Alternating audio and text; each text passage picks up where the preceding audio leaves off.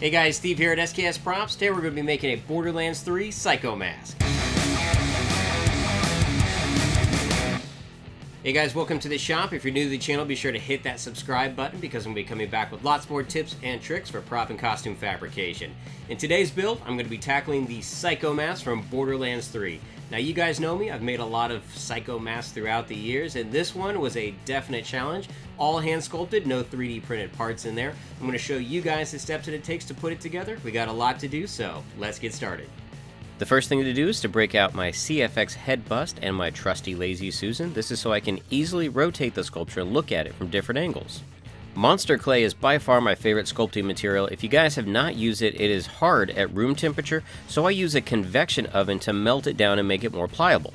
This is kind of a Goldilocks theory here. You don't want the clay too hard or too soft, you want it just right, so it's easy to work with your hands in the beginning stages. Now I've gone over sculpting before in other build threads, so we're not going to really delve into that here. Sculpting with monster clay is really just building up your bulk surfaces with your hands at first, and then going in with tools later to refine all the shapes. People that have seen my work before know that I have a particular look for the eyes on all my Borderlands Psycho masks, so I've tried to replicate that here in the new version as well, just so it has my particular flair. Once the overall face structure has been bulked up and cooled down some, that's when you can start going in with loop tools and various sculpting materials and really start to refine the shape of the overall mask.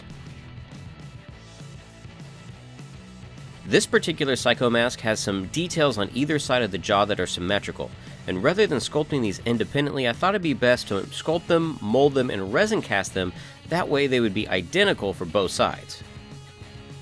There are a bunch of little rivets on the respirator around the mouthpiece, and to simulate those, I decided to take some googly eyes, cut the tops off, pop out the little black part on the inside, and stick those into the monster clay. None of the pieces on this mask were 3D printed, everything was hand sculpted, so here I'm using just various tools in my arsenal to replicate as best I can the look from the game cover. Now because this mask is going to be molded and resin cast, I use some plasticine to build up a mold wall which will create a channel all the way around the mask which will make it easier when I go to slush cast it. Always remember to protect your work surfaces. This is not something that you want to do on your kitchen table, so here I'm putting down some plastic sheeting so I don't get silicone all over the place. My favorite go-to silicone is from Smooth On. It is Rebound 25. It is a 1 to 1 mix ratio. It's extremely durable and very easy to work with. For those of you that have not used silicone before, this is an equal part mix of A and B. I put those into a separate container and then mix that up with a paint stir stick. This first layer of silicone that I'm putting down is extremely important. It is known as the print layer, and you want to make sure that there are no air bubbles trapped anywhere on the surface because those will show in the final cast. Here I'm using a chip brush to make sure that I have a single layer of silicone all over the entire surface. It's also very important that I get silicone down into that channel which will form a lip and help me keep the resin within the mold when I'm slush casting. After the initial print layer, you want to thicken up layer 2, 3, and 4. You can do this by using a chemical called Thivex that you add into the silicone. Now these layers aren't as important as far as the print layer is, you just want to build up more of the silicone so that it's a little more durable. The blocks of silicone that I've placed onto this are from a previous mold that I no longer use. These will act as mold keys when I make the mother mold or the outer shell that will hold this jacket. For this particular mother mold, I'm going to be using Plasti-Paste 2. It is a 2 to 1 mix ratio and it cures to a very hard material. After parts A and B have been mixed together, it's as simple as dumping it out onto the jacket mold and forming it using a paint stir stick. You do have a limited time to work with this, you can tell the material will start getting hot and it will be harder to move around. I dip my hand into a little bit of water which will help me smooth out the surface. Just like previous videos, I will be once again using Smoothcast 65D to slush cast this particular Psycho Mask. This is a 1 to 1 mix ratio as well, and just as the name would suggest, slush casting, once you have it all mixed up, pour it into there and slush it around the surface. You can see where that lip that was put into the silicone helps retain all of the resin within the mold. This process is repeated four times. I've found that four thin layers of resin are perfect for its overall weight and durability. After the mask is fully cured, it can be popped out of the jacket mold and then cleaned up with a rotary tool. So in this case, I've used my Dremel and Foredom rotary tools to carve out the eyes and trim all the flashing off the exterior of the mask. The base of this mask is a tan flat primer, and I'm painting on Liquitex Heavy Body unbleached titanium with a half inch filbert brush. The big thing to note here is that I'm not covering the surface with the unbleached titanium, I'm allowing the sculptural details to still show through by lightly brushing across the top surface. The second layer here is a highlight layer. It is applied using less water and more pigment. This is specifically placed on the brows, cheeks, and ridges on the forehead. I wanted some very subtle shadows on this mask, so I broke out my Iwata airbrush and used some Vallejo black primer. This was applied around the eyes, respirator, and undercuts on the face. Liquitex Heavy Body Parchment was applied using a dry brush technique. I made sure not to cover up all the shadows that we had just applied with the airbrush.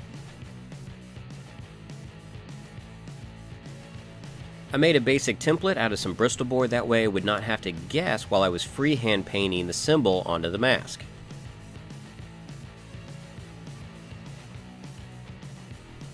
Using some Mars Black, I carefully filled in the symbol.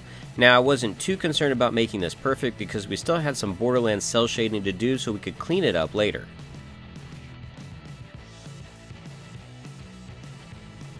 The same Mars Black was applied to all the pieces that would be metallic and the undercuts. Liquitex Heavy Body Cadmium Orange was then painted onto the symbol. Now here I had to be a little more careful because I did not want to overbleed into the part that was already painted Mars Black.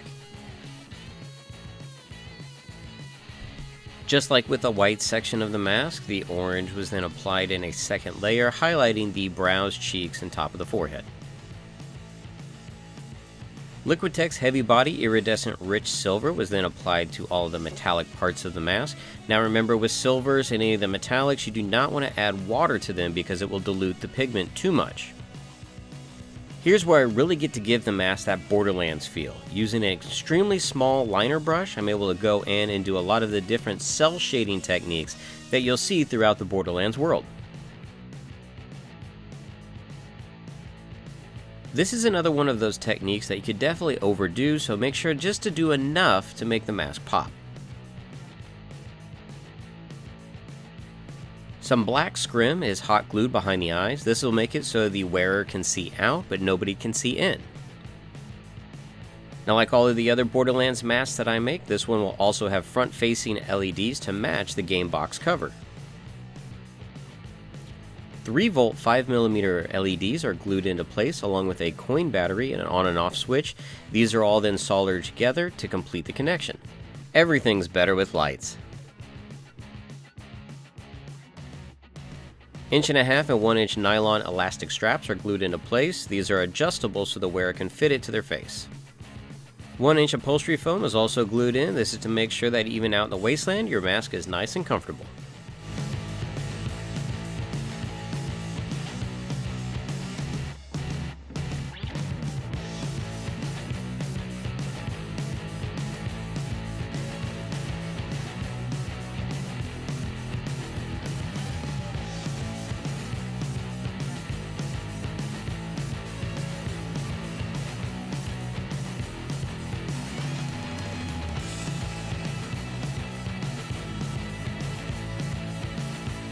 Alright, so you guys can see the steps that it takes to put together a Borderlands 3 Psycho Mask, and I am joined by my buddy Ethan. You may know him as Thousand Faces Cosplay.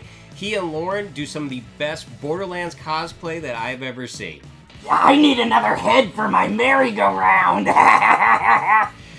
so, thank you guys for tuning into this. If you have Borderlands fans that are out there, be sure to share this video online with them because I would love for other people to see what I have created. If you're new to the channel, once again, be sure to hit that subscribe button. Be sure to swing back by again for more tips and tutorials. Until then, thanks for stopping by.